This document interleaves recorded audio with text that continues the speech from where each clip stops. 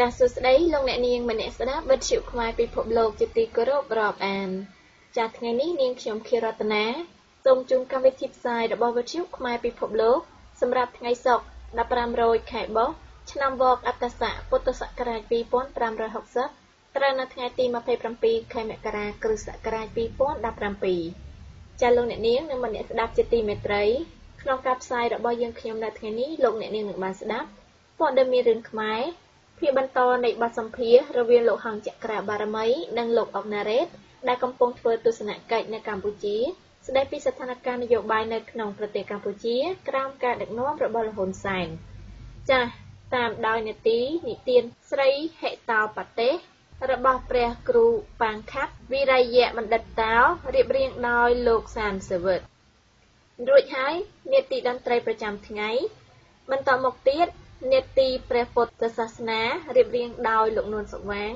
តាមដោយនេតិប្រវត្តិសាស្ត្រខ្មែរប្រចាំថ្ងៃសុក្ររៀបរៀងដោយលោកមីសុភី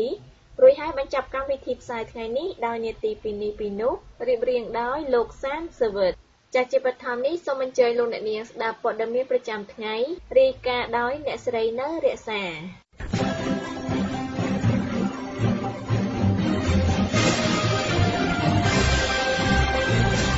ប្រធានអង្គភិបប្រឆាំងអំពើពុករលួយលោកអោមជំទាងបានថ្លែងថាប្រទេសកម្ពុជា មិនស្លាប់ក្រោមចង្អុលដៃរបស់អង្គការដំឡាភិបអន្តរជាតិទេដែលបានដាក់បន្ទុកឲ្យកម្ពុជាលេខ21ក្នុងចំណោមប្រទេស176នៃអំពើពុករលួយ លោកអោមជំទាងបាន លើកឡើងបែបនេះបន្ទាប់ពីវិទ្យុអាស៊ីសេរីបានចេញផ្សាយកាលពីថ្ងៃទី25ខែមករាឆ្នាំ2017ថាអង្គការដំឡាភិបអន្តរជាតិបានចេញរបាយការណ៍ថាកម្ពុជា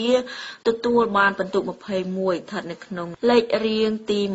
156ក្នុងចំណោមប្រទេស176ហើយកម្ពុជាទទួលបានពិន្ទុ21រយៈពេល3ឆ្នាំជាប់គ្នាមកក្នុងនោះ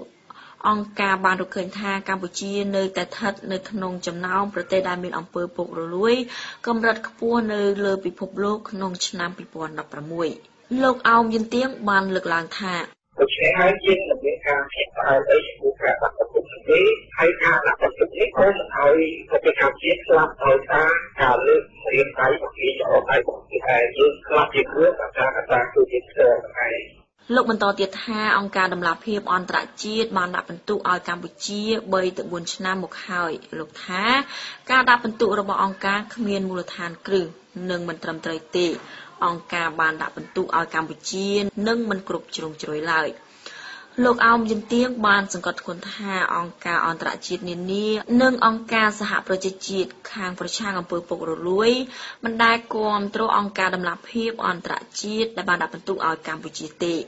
អង្គការដំណាភិបអន្តរជាតិចង់លាបពណ៌ឲ្យប្រទេសកម្ពុជា តាមគោលនយោបាយរបស់គណៈបកប្រឆាំងចា៎នាងខ្ញុំនៅរក្សាវិទ្យុខ្មែរពិភពលោកធ្វើសេចក្តីរាយការណ៍ ចាស់ខណៈនេះលោកអ្នកនាងកំពុងស្ដាប់កម្មវិធីផ្សាយវិទ្យុខ្មែរពិភពលោកផ្សាយចេញពីសហរដ្ឋអាមេរិក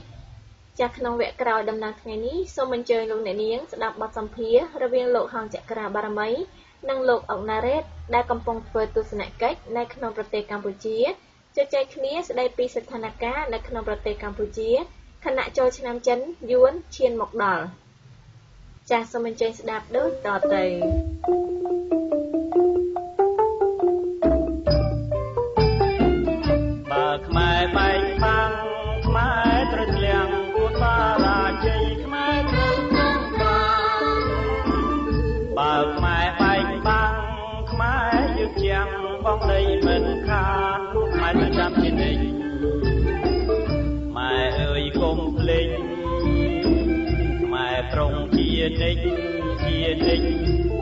ឲ្យព្រួយបាន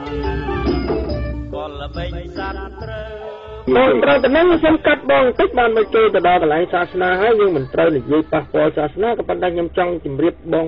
ចង់សួរបងថាសាសនាខ្មែរយើងពីដើមមិញមានតែលោកទេដែលឡើងក្រេតទេឥឡូវនេះមានខ្មែរមានមានអីណែប្រសក់បាទប្រសក់ហ្នឹងឡើងក្រេតទេដែរហើយទេសប្ថ្ងៃហ្នឹងគឺ ប្រៀបធៀបដូចជាចងខ្មែរចំនួនក្រោយហ្នឹងមិនអោយរើបង្រាស់មិនអោយគិតពីរឿងជាតិមិនអោយគិតពីរឿងនយោបាយមិនអោយគិតពីរឿងការអឺស្រុកទេសណាកំពុងតែបាត់បង់នៅស្ទើរតែរលត់រលាយទៅហើយហើយខ្ញុំមើលទៅខ្ញុំស្ដាប់មើលទៅឃើញអឺប្រសក់ហ្នឹងគាត់ពេលវេលាគាត់ច្រើនប្រទេសនាថា កម្មចំកុំចងកម្មពីជាមួយអីណាអញ្ចឹងបានន័យថារឿងជាតិខ្មែរយើងបើសិនណាបើគាត់ទេសតែពីរឿងថាកម្មកំចងកម្មពីកំចងពីអញ្ចឹងអញ្ចឹងខ្មែរយើងនៅចំនួនក្រោយកូនយុវជនខ្មែរយើងចំនួនក្រោយហ្នឹងគឺគាត់គិតឃើញថាសាសនានឹងជាសាសនាល្អកម្មកម្អោចងកម្មពីកម្អោចងពីអញ្ចឹងកម្អោគិតពីរឿងប្រទេសជាតិដែលគឺគេកំពុងតែលួចប្លន់ប្រទេសជាតិយើងតើបងអាចជ្រាបត្រង់កន្លែងហ្នឹងបាទជួយកំភ្លឺទៅនឹងបានទេបាទសូមជួយបងមានផ្សាយបន្តិចមើលបង បាទសូមអរគុណនេះខ្ញុំមិនមែនជាអ្នកដែលដែលជាអ្នកចៅអន្តការឬក៏ជាលោកប្រសង់អីជាពិតប្រកបទេបើជីវិតខ្ញុំមិនបួសបាន7ថ្ងៃគត់ដោយសារឪពុកខ្ញុំស្លាប់ពីឆ្នាំ1962បាទតែប៉ុណ្្នឹងទេហ្នឹងទៅគ្នាហើយខ្ញុំថាបាទខ្ញុំថាជាអ្នកកាន់ពុទ្ធសាសនាតាមពិតខ្ញុំអាចពោថាពោខ្លួនឯងក៏បានអត់ដែរព្រោះ កាន់ពុទ្ធសាសនាទៅតែប្រតិបត្តិអត់បានជាប់លើទេខ្ញុំគឺថាសុំសិល5ពេលខ្លះខ្ញុំថាអាចទប់មិនបានផងអា5ហ្នឹងម្ល៉េះគេលេះនៅតែមានប៉ុន្តែខ្ញុំនៅតែតាំងចិត្តថាខ្ញុំជាពុទ្ធសាសនាព្រោះខ្ញុំកើតមកក្នុងប្រទេសមួយដែលកាន់ពុទ្ធសាសនា90%ហើយយើងពុទ្ធសាសនាល្អណាស់ដូចខ្ញុំដែរបាទអីបាទតែគាត់ខ្ញុំឆ្ងល់បាទគាត់ខ្ញុំឆ្ងល់ថាឲ្យកម្មចងទីពីចងកម្មនឹង តើរឿងប្រទេសជាតិយើងរឿងនយោបាយរឿងអីហ្នឹងគឺតើបើយើងទៅតាមហ្នឹងតើអាចអឺជំនាញចំនួនក្រោយគឺប្រមូលគ្នាទៅធ្វើតាមកម្មពីនឹងទាំងអស់ឬមួយយ៉ាងម៉េចឬអត់កុំឲ្យគិតជាតិពីព្រោះគេឥឡូវនេះជាតិគេកំពុងតែប្លន់ហើយបាទគេកំពុងតែប្លន់ជាតិយើងហើយដល់បើគាត់ទេសតែអញ្ចឹងរហូតនឹងគាត់ចងខ្មែរយើងគាត់មិនព្រមឲ្យខ្មែរយើងដាស់តឿនខ្មែរយើង ឲ្យប្រឹងរើបង្រាស់តើគាត់នៅក្នុងវត្តហ្នឹងគាត់មានអីឆាន់ដែរមើលទៅបាទសំណួរខ្លីៗអញ្ចឹងចុះបាទខ្ញុំបាទហ្នឹងអញ្ចឹងបាទថាខ្ញុំមិនជាចេះមើលកម្ពីត្រៃដីដកអីច្រើននោះទេតែតែអ្នកទេសនាខ្លះទេទៅវាចំចិត្តយើងចង់បានវាល្អមែនអាចនាំឲ្យយើងអឺបានដូចថាចូលនៅក្នុងជីវិតរបស់យើងបានវាសក់ស្រួលសោះទៅ ប៉ុន្តែសពថ្ងៃនេះយើងដឹងហើយគឺបកកើតពាក្យមកពីអឺដោយការរងាប់មិនចង់ពីណាហើយសិតអញ្ចឹងណាដល់ឬទៅខ្ញុំថាអាហ្នឹងគោល្អតែតែសម្រាប់សម្រាប់ក្នុងអឺគ្រួសារខ្លះក្នុងសង្គមខ្លះតែយើងត្រូវមើលកលៈទេសៈដែលពីមិនចងពីហ្នឹងចុះបើគេវាយយើងងាប់ទៅនៅតែមិនចងរហូតអាហ្នឹងគឺទៅវាប្រកាច់ដែរយើងត្រូវមើលកលៈទេសៈដែលថាអាហ្នឹងមកធ្វើបាបយើង យើងអត់ត្រូវធ្វើអីកុំមកវាយវាកុំរវល់វាប៉ុន្តែយើងត្រូវមើលទីកលៈទេសៈហ្នឹងតើយើងត្រូវវាយវាទេចងពីវាវាទៅវិញទេបើចងពីវាទៅឲ្យវានឹងកើតទៅទៅទៅធំឡើងធំឡើងតែតែក្នុងរឿងស្នាក់ដល់ជាតិដល់ស្នាក់ជីវិតអាប្រទេសជាតិយើងទាំងអស់បើសិនយើងថាអូ ពីរងាប់ដោយការមិនចងពីហើយចូលមកក៏ចូលទៅនៅឲ្យពេញទៅអានឹងងាប់ខ្លួនឯងទេអល់ឡោះអញ្ចឹងមកថាយើងត្រូវគិតអានឹងឲ្យបានទាំងអស់គ្នាឲ្យដឹងថាតើយើងត្រូវចងពីទេអាចអាសត្រូវដែលចង្រៃមកធ្វើបំបត្តិឲ្យធ្វើគ្រួសារយើងបាច់ដល់ប្រទេសទេគឺគ្រួសារមួយវាដុកដានយើងទល់ទៅរស្អីមិនកើតបាក់បែកឈ្លោះគ្នាថាងើបទេបើថាយើងងើបទេដូចចឹងឲ្យប្រពន្ធអាចោនឹងធ្វើបាបប្រពន្ធយើងនៅមុខ មើលទៅទៅតើចិត្តយើងធ្វើបានទេព្រះក៏ធ្វើអត់បានដែរអញ្ចឹងហើយបានថាយើងមើលទៅគាត់តែចលីក្រស្នាហ្នឹងអាចជជក់ដឹកទៅវាយណាព្រះអង្គខឹងភ្លាមខឹងភ្លាមថាដាច់អាបត្តិក៏ដាច់ទៅតែក្នុងនាមដែលជីវិតរបស់ធម្មជាតិត្រូវតែមានអញ្ចឹងចាម្ល៉េះហើយយើងកន្លែងទៅយក អារឿងដែលតិចតួចដល់សំតងពីគ្នាយើងក៏យកប៉ុន្តែដែលអាត្រូវចងពីទៅវិញទៅរឿងបំរាយើងមើលស្ថានភាពនិងស្ថានភាពដែលទីមកបំផ្លាញយើងហ្នឹងអាហ្នឹងហើយបានថាលោកចក្រាថាអាហ្នឹងហើយដែលយុវជនឡើយកុំចងពីគេអាគេមើលអញ្ចឹងក៏ធ្វើមងើយទៅពងើយទៅពងើយទៅហ្នឹងហើយតែខ្ញុំថាកំពុងតែគេធ្វើបាបយើងប្រឡុកប្រឡែប្រឡុកឲ្យយើងនឹងវក់ឲ្យយើងនឹងលក់ពលឹងឲ្យយើងព្រើអត់ដឹងអី អាហ្នឹងហើយបានតែពុទ្ធសាសនាក្តីវត្តអារាមក្តីសិតតែជាមនោគមវិជ្ជារបស់គេវាមកធ្វើជាខ្លែងខ្លាយទេមិនមែនពិតប្រកបជាសាសនាទេឥ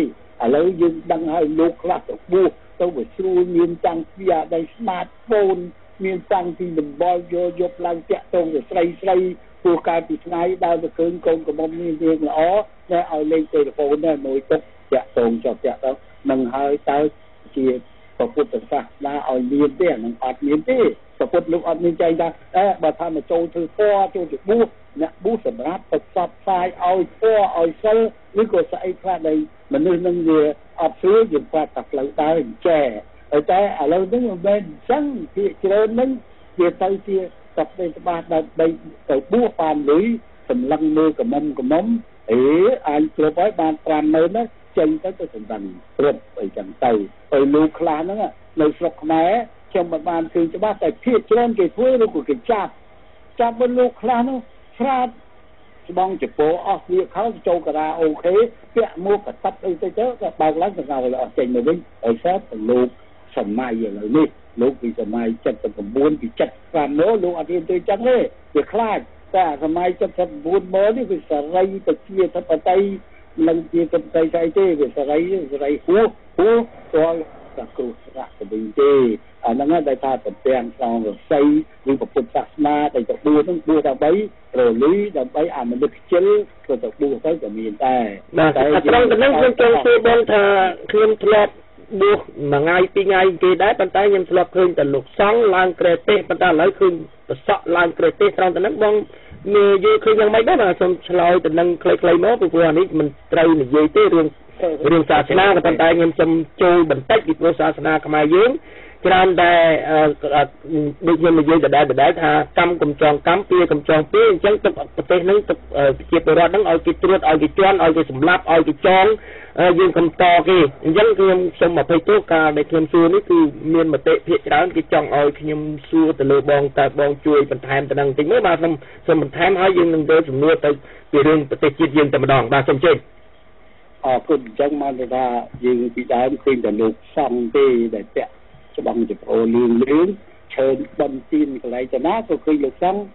ទេសនាទេសនានេះការនិយាយប្រាប់បញ្យល់ទៅប្រជាជនទាំងអស់តាមពីជនបទមាត់ញោកឬដល់ក្នុងក្រុងក្នុងអីដែរមកប្រទេសកម្ពុជាយើងទទួលស្គាល់តែកន្លែងខ្លះវាល្អមែនព្រោះលោកសំកន្លែងខ្លះយកអដែងប្រពុតបត្រៃបីដកទាំងប្រមាណខ្លះខ្លះហ្នឹងមកបកសម្រាយឲ្យពលរដ្ឋឲ្យអ្នកស្រុក យល់ថាណែគឺល្អតាមល្អគឺអក្រក់តាមអក្រក់ឬក៏និយាយរឿងខ្លះអីចឹងទៅអានឹងជាការទេសនាឲ្យតែតែបដៅដល់ពលរដ្ឋឲ្យយល់តែតែសប្តាហ៍លោកចាក់ប្រាប់ថាមានប្រសក់រវាងទេសនាលោកក៏ទេសនាខ្ញុំអត់ចំទាស់ទេទេសនាប្រទេសទីឲ្យត្រូវបើថាទីត្រូវចង់លោកងេនទាំងក៏ដោយលោកដៃនេះថាស្អីឬក៏ក្មេងម្នាក់ដែលចេះដឹងមែនទេទៅមិនបាននេះនិយាយមកវាត្រូវក្នុងអតីតសង្គម អីអីអានឹងជាគួរលើចោះល្អហើយឲ្យតែក្នុងរឿងគឺតែត្រូវក្នុងសង្គមរបស់យើងតែបើថាគាត់មកទេសនាដើម្បីថាអូលោកគ្រូនេះហើយលោកគ្រូនេះនិយាយមកព្រួតប្រាជ្ញអត់ប្រយោជន៍អានឹងខ្ញុំថារឹតទៅបំផ្លាញសាសនាទៅវិញទេសូមអរគុណបាទបាទបាទសូមអរគុណបាទនេះជាមតិបងប្អូនដែលចង់ឲ្យខ្ញុំសួរហើយខ្ញុំក៏មិនមែនជាអ្នកចេះធរអាអីជ្រៅជ្រះអីដែរសូមអភ័យទោសផងសូម លោកអុកនរិទ្ធគាត់បានជួយបន្ថែមនិងបកស្រាយបោះក្បាយដល់បងប្អូនប្រជាពលរដ្ឋយើងស្ដាប់នៅក្នុងជុកខ្មែរភពលោកហើយឥឡូវនេះខ្ញុំសូមវេជំនួសពី3សំណួរតទៅទៀតពីរឿងគណៈបកបាទគណៈបកសពថ្ងៃនេះគឺយើងមានគណៈបកពីរធំគឺគណៈបកប្រជាជននិងគណៈបកសង្គ្រោះជាតិបាទប្រហែលថ្ងៃនេះគឺជាថ្ងៃទី25ខែមករាឆ្នាំ2017គឺត្រូវនឹងថ្ងៃលោក សខេងសម្ដេចកលាហោមផិតហ្នឹងគាត់ហៅលោកនឹងគណៈបកសង្គ្រោះជាតិហ្នឹងទៅចរចា តែឥឡូវហ្នឹងគឺបានន័យថាខាងសម្ដេចរបស់បងហ្នឹងគឺសម្ដេចនាយកលេខយោដំប៉ោតហ្នឹងគាត់រំលាយចោលហើយគឺប្រធានគណៈបកសង្គ្រោះជាតិហ្នឹងគឺប្រធានភាគតិចហើយនិងប្រធានភាគច្រើនហ្នឹងរំលាយចោលហើយមិនបានប្រជុំទេ បាទមិនបានចរចាគ្នាទេតើបងបានជ្រាបទេពីរឿង ម្ដងចេះម្ដងចុះហើយខាងយើងនឹងមានចំនួនដល់ទៅ55នាក់បាទតើ55នាក់នឹងមានឆន្ទៈរបៀបម៉េចទុកឱកាសឲ្យតែខាងគណៈបកសង្ប្រជាជនកំពុងតែធ្វើភ្លៀងធ្វើផ្គរធ្វើខ្យល់ធ្វើព្យុះរហូតតទៅ យើងខ្មែរយើងសង្ឃឹមណាបើយើងសង្ឃឹមទៅលើតគណៈបកសង្គមជាតិមួយប៉ុន្តែបើគាត់កំពុងតែធ្វើលៀងធ្វើផ្គើទៅលើបងប្អូនប្រជាពលរដ្ឋលើលើគណៈបកនៃសង្គមជាតិ55នាក់តើ55នាក់សប្តាហ៍នេះគាត់ធ្វើអីខ្លះគាត់ធ្វើអីបានជាបណ្ដែតបណ្ដោយឲ្យតែសម្ដេចបងមានប្រសាសន៍ឆ្វេងទៅឆ្វេងស្ដាំទៅស្ដាំបើកបើកបិទទៅបិទអញ្ចឹងណាបងសូមបងមានប្រសាសន៍ជួយយើងផងមកបន្ថែមត្រង់នឹងតិចទៅបាទសូមជួយបាទបាទនេះអរគុណលោកកតា អានេះចឹងបានថាខ្ញុំស្ថានភាពនៅស្រុកខ្មែរខ្ញុំច្រើនតែនិយាយហើយពីថាមួយថ្ងៃថាមួយម៉ោងនិយាយតែមួយម៉ោងទៅមួយថ្ងៃទៅមួយខែទៅមួយឆ្នាំគេរៀបចំអឺគេហៅថាឆាកល្ខោនសេណារីយ៉ូហ្នឹងឆាកល្ខោនអត់ឲ្យនេះទេឲ្យផ្លែករាល់ថ្ងៃបើយើងមិនតាមស្ថានភាពទេស្ថានភាពទេគឺថាយើងអត់ដឹងទេអញ្ចឹងបើថា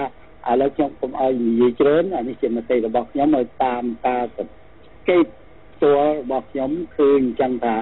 សពថ្ងៃនេះយើងដឹងហើយថាគណៈបកមួយ CNRP ជាគណៈបកសង្គ្រោះជាតិដែលរួមគ្នាគណៈបកសំរងទីជាមួយលោកអីសន្តិការគណៈបកអដែងប្រជាធិបតេយ្យអីគេហ្នឹងចូលមកបានឈ្មោះថាសង្គ្រោះជាតិ CNRP សង្គ្រោះជាតិ វាសង្គ្រោះហ្នឹងតើសង្គ្រោះមែនទេឥឡូវយើងដឹងហើយទីបំផុតលទ្ធផលនៅសង្គ្រោះថ្ងៃ2013ហ្នឹងយើងដឹងគួរដឹងដល់គ្នាមិនបាច់និយាយទេបាទនិយាយទៅនិយាយទៅក្រោយវិញមកនិយាយទៅមុខទៅមុខទៅមុខទៅវាថាតើតើអាម៉េចបានមកដល់នឹងសពថ្ងៃមានស្អីដែរហើយខ្ញុំថាលខោនដែលគេរៀបចំឲ្យធ្វើមួយរត់ទៅចោលស្រុកបាត់ទៅហ្នឹងគេរត់ទៅធ្វើថាមិនឲ្យចូលស្រុកទៀតឥឡូវហ្នឹងដឹងថែមទៀតម្នាក់ហ្នឹងជា យើងដឹងហើយថាលោកប្រធានលោកសំរាំងទីគេរត់ទៅដឹងទៅទៀតហ្នឹងបើថែមទងន់រត់ទៅធ្ងន់ទៅទងន់ទៅដោយសារអាម៉េចគេមិនចង់ឲ្យចូលស្រុកឲ្យគេដាក់កម្រិតហ្នឹងទាល់លោកសំរាំងទីខ្លួនឯងមិនហ៊ានចូលស្រុកទៅបងបើថាយើងចិត្តកីឡាចូលមកស្រុកឲ្យជាប់គុកឲ្យគេមើលតែមិនអត់ទេអាហ្នឹងសិល្បៈការបោកប្រាស់ហើយទៅដើរទៅនិយាយចេះនិយាយចុះអាហ្នឹងហើយបានតែមានរឿងមួយថ្មីថ្មីនេះសម្ដេចដែលថាលោកថាសម្ដេចរបស់ខ្ញុំណាសម្ដេចតែតែ ស្ដេចទូលឬសម្ដេចអីគេនឹងសម្ដេចអីហ្នឹងយកសម្ដេចអីបាទគាត់នឹងរៀបចំមុនគាត់ទៅដល់សម្ដេចអីហើយគាត់ទៅអីណែប្រទេសស្វីសស្វីសបើកជំនុំពីរឿងអីហ្នឹងពីរឿងសេដ្ឋកិច្ចពិភពលោកអីហ្នឹងទៅ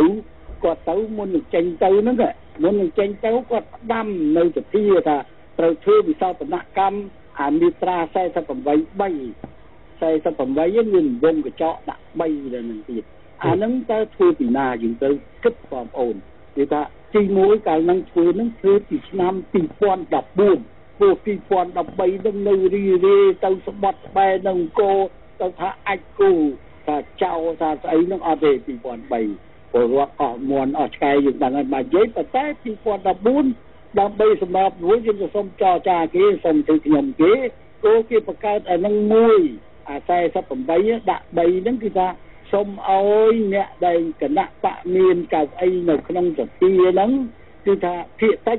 ជាអ្នកដឹកនាំភាកតិចអាចឲ្យមានអាដែលសមត្ថភាពដូចមិនសមត្ថភាពទេថាឲ្យមានសិទ្ធិហ្នឹងចិត្តនឹងស្មើនឹងនាយករដ្ឋមន្ត្រីតែនាយករដ្ឋមន្ត្រីខ្យល់ឬរដ្ឋរដ្ឋអីយើងមិនដឹងទេតែលោកណែសម្ដេចរបស់ខ្ញុំឬថារបស់ខ្ញុំ គេដាក់មកហ្មងថាណែឲ្យមានសិទ្ធិស្មើនាយករដ្ឋមន្ត្រីប៉ុន្តែគ្មានសិទ្ធិចាត់ចែងដូចខ្ញុំជារដ្ឋមន្ត្រីមែនទេទេណាតែឯងគាត់ឲ្យមានសិទ្ធិតែខ្ញុំមានសិទ្ធិនឹងមិនមែនសិទ្ធិទេឲ្យមានសមត្ថភាពមិនសិទ្ធិទេនិយាយត្រង់ទៅនិយាយថាសមត្ថភាពសមត្ថភាពនោះស្អីអើស្រែកមកថានាយករដ្ឋមន្ត្រីតែប្រាក់ខែឲ្យសមត្ថភាពឲ្យតែខ្ញុំប៉ុន្តែសិទ្ធិអត់មានដូចខ្ញុំទេណា មានតែអីថាអីដូចខ្ញុំបានទេអូយនេះសប្បាយចិត្តណាស់បានទៅធ្វើអី